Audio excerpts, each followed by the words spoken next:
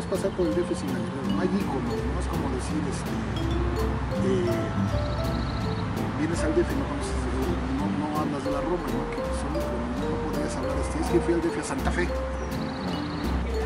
Alrededor de la colonia Guerrero surgieron muchos, muchos negocios, como son las tiendas, las tiendas de abarrote, las cantinas, los cabarets, los hoteles. La vecindad, pues era una vecindad larga, larga, larga. Y venían los de las charamuscas con su tablita y sus charamuscas ricas, riquísimas, de color, un color verdecito, amarillo y blanco, me acuerdo. Cuando ya entré a la universidad, ya no vivía yo acá, pero regresaba cada sábado, viernes, a tomar un café de, de huevo. Me quedó la costumbre, hasta que se va. Y un poco la idea que yo tenía era que lo que yo he ido viendo, o lo que la idea que yo crecía ahí en la Guerrero era, yo iba a un colegio que se llamaba Los Ángeles de Cerro, el colegio de monjes estaba en la calle del Sol. Y mis papás tenían esa tienda en la torre, entonces toda mi infancia hasta la primaria La colonia Guerrero, además, fue habitada por, aparte de, todos los, de toda la gente que estaba en, el, en de toda la República, era una colonia cosmopolita, había había chinos, había españoles. Esto de darle a la gente que sacaba, así es.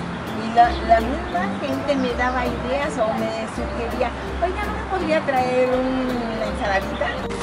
Ahí en Monarco, en, lo que es ahora la Plaza de las Culturas, había una aduana, porque el libro, el título es la aduana de Tlatelolco. Había una aduana de era una estructura, era una estructura muy alta, de hecho con dos aguas de lámina con muros anchos de mampustería que sería una, una construcción de época posterior.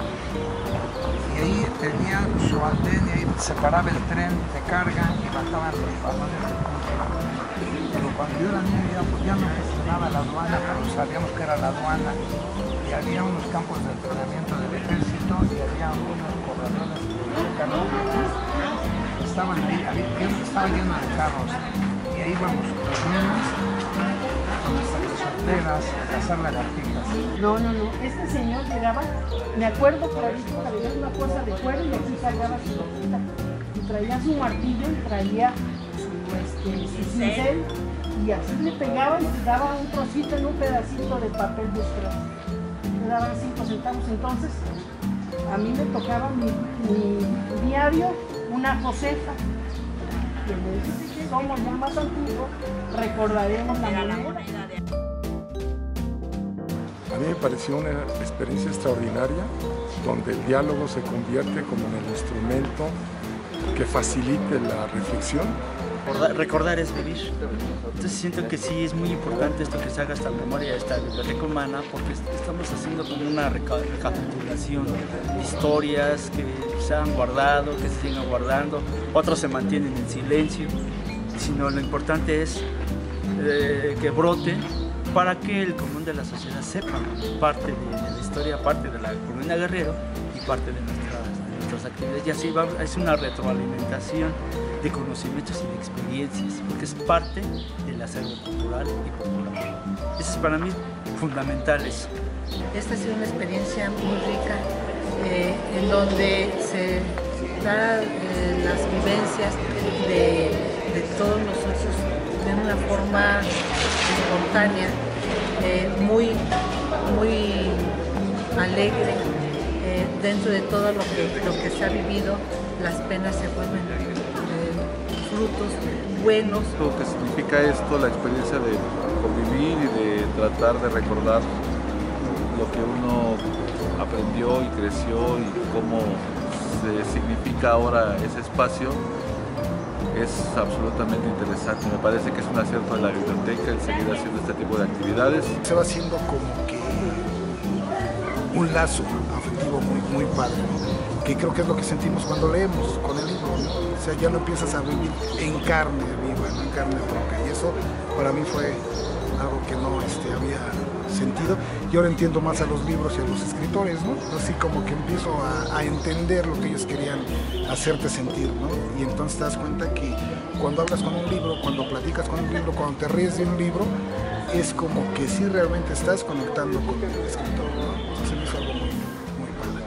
me llevo una gran satisfacción de esta biblioteca y le condoy el reconocimiento por esto, por esta, esta labor, por esta, esta, esta vivencia que es irrepetible.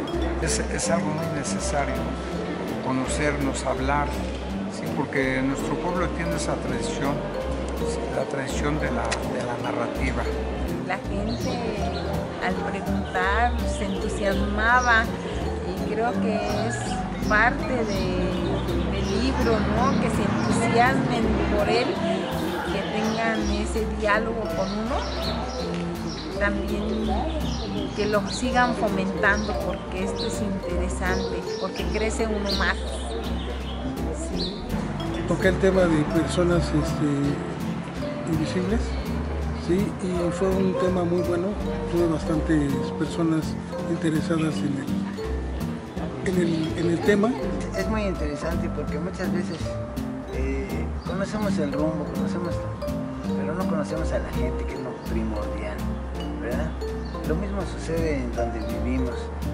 Decimos buenas tardes, buenas noches a, a la gente y sí sabemos su nombre, pero ¿a qué se dedican? ¿verdad? Hace falta esa convivencia. Para mí fue una experiencia muy bonita. Yo felicito a la biblioteca por esta iniciativa tan importante, porque creo que está abriendo un capítulo dentro de la cultura popular donde se puede dar una imagen más completa y sobre todo se va a quitar un estigma hacia los lectores de que México casi no lee y esto va a abrir un espacio de comunicación muy importante. Todo eso platicamos con la gente, muy receptiva la gente, muy interesada. Este, nos, pareció una experiencia muy, muy buena. Espero que la gente lo haya disfrutado tanto como yo.